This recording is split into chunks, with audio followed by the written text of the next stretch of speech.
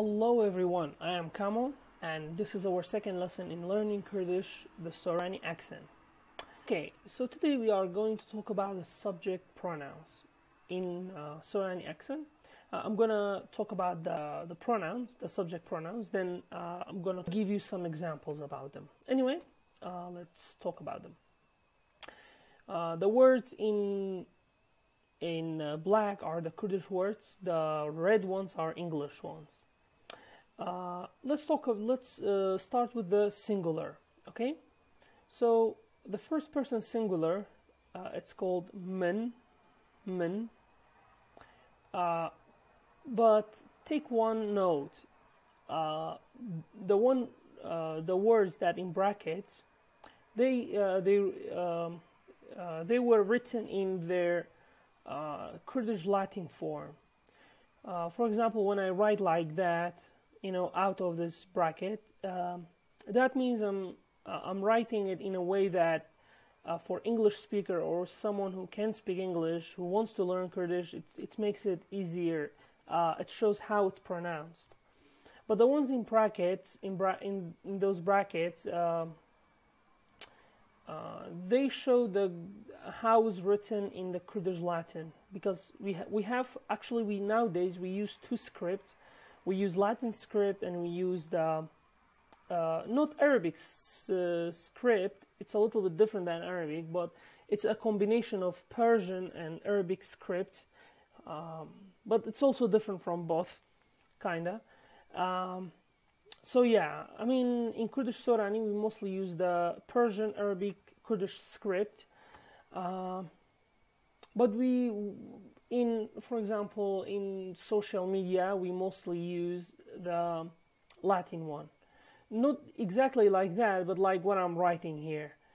Um, but i wrote it in the latin form as well to just clarify that in is it in kurdish latin okay? In kurdish latin script.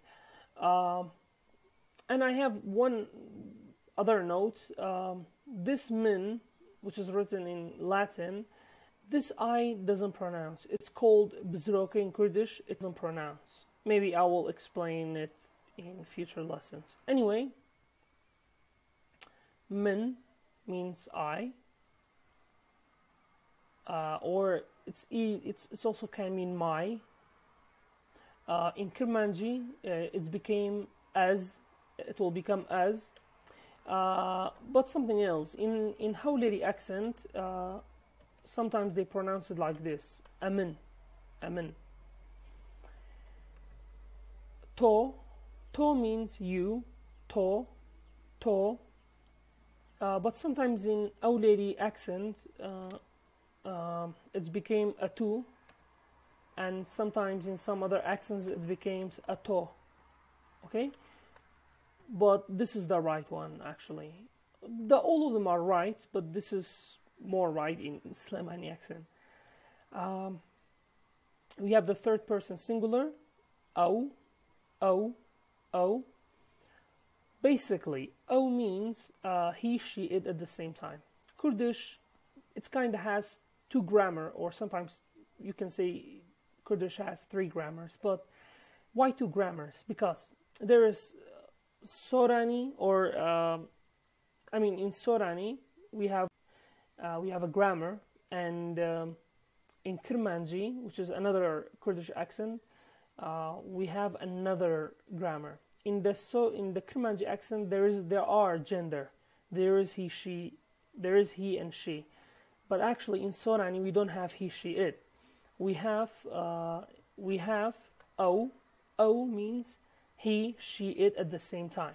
So uh, when you have a sentence to uh, make a differentiate uh, to make a differentiation between um, the male or female, the gender of the of the person you are talking to, it depends on the context of the sentence.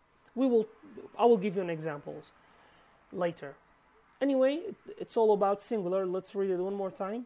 Men, men, to, to, o, o. Let's talk about plural.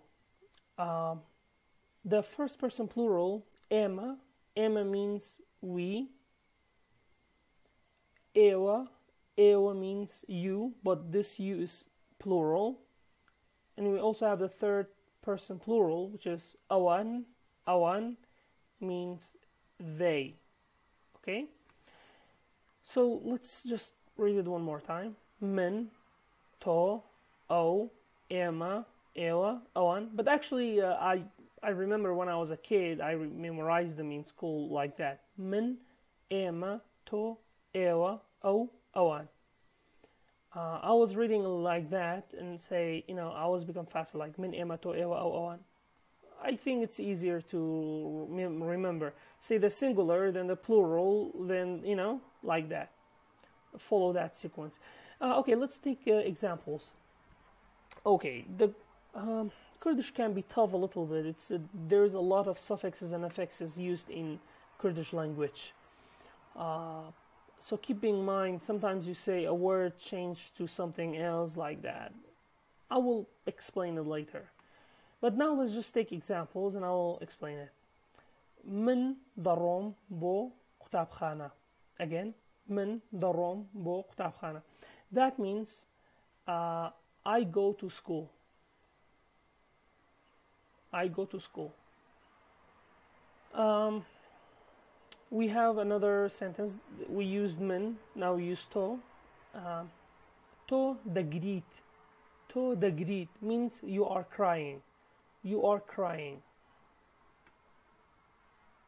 Um, second one, I use to o because I want to uh, tell you how can you make a differentiate between he and she. Here you say أو كتشيكي زيركا أو كتشيكي زيركا means she is smart. But actually uh, it means she is a smart girl. Uh, kitch, uh, kitch, KCH here, kitch means girl.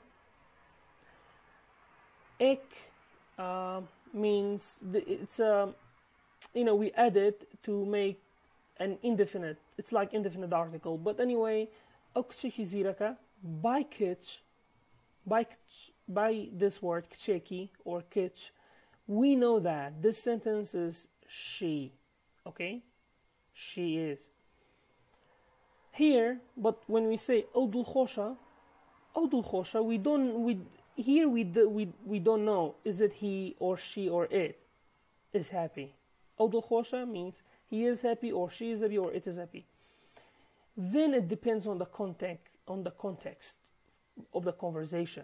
For example if you talk about uh, like you're pointing to someone okay or you talk about someone you know both both of you know then you understand if if it's he or she or it okay? Then we have um, Emma the first person plural Emma Gorani Dalin Emma Gorani Dalin that means we are singing. Okay, another one. Ewa zor Ewa zor means you are so fast. It's plural one. You are all so fast. Okay, then we have awan dagaren. Awan dagaren means they are they are searching. They are searching. Later on I will I mean, not not in next lesson. In next lesson, I'm gonna talk about the Kurdish word order, which is it will be fun for the linguists. But anyway, um, in in this lesson, I just wanted to talk about the pronouns, the subject pronouns, and some examples. Uh, well, the Kurdish can be tough in grammar, so even I was bad in Kurdish grammar before, um, but I will try to explain as much as I can because in Kurdish we many things will change in sentence okay? So it can be tough a little bit for some of, for some of you but no problem. I mean everything's to be fine if you really want, want to learn.